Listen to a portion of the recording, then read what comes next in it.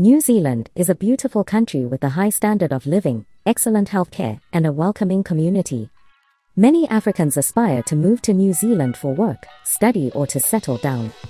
If you are an African and you want to secure a New Zealand resident visa, you need to follow certain procedures. In this video, we will provide a step-by-step guide on how to secure a New Zealand resident visa as an African. The first step to securing a New Zealand resident visa is to determine your eligibility. There are various ways to qualify for a resident visa in New Zealand, including skilled migration, business migration, family migration, and humanitarian grounds. To determine your eligibility, you will need to visit the New Zealand immigration website and use their online tool to determine which visa category suits you best. Once you have determined your eligibility for a resident visa, the next step is to prepare your supporting documents. You will need to provide proof of your identity, your qualifications, your work experience, and your financial stability. You will also need to provide police clearance certificates and medical certificates. After preparing your supporting documents, you will need to submit an expression of interest, EOI, to the New Zealand Immigration Department. This is an online form where you provide information about yourself, your qualifications, and your work experience.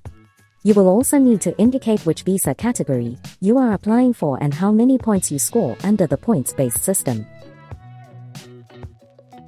If your EOI is successful, you will receive an invitation to apply ITA from the New Zealand Immigration Department.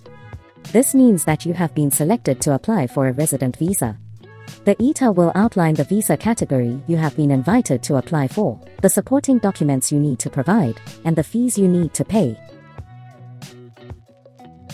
Once you have received your ITA, you will need to submit your resident visa application within the given timeframe. You will need to provide the supporting documents outlined in the ITA, including police clearance certificates, medical certificates, and proof of funds.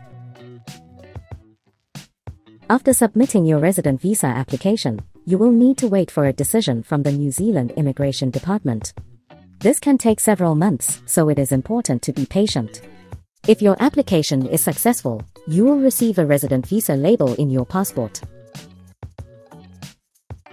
If your resident visa application is successful, you can then move to New Zealand and start your new life. You will be entitled to many of the same rights and privileges as New Zealand citizens, including access to healthcare, education, and social services. In conclusion, securing a New Zealand resident visa as an African requires careful planning and preparation. By following the steps outlined above, you can increase your chances of obtaining a resident visa and achieving your dream of living in New Zealand. If you found the video informative, consider subscribing to the channel for more videos like this. Also check out our website for more information. You'll find a link in the description of this video.